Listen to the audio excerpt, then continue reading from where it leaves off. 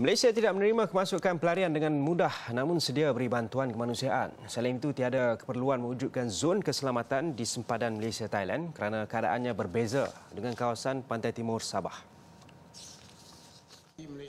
Menjawab soalan di Dewan Rakyat, Menteri di Jabatan Perdana Menteri Datuk Seri Syahidan Kasim mengulas keterbukaan Malaysia menerima kehadiran pelarian. Ia susulan insiden bot haram yang membawa lebih seribu etnik Rohingya dan warga Bangladesh mendarat di Langkawi.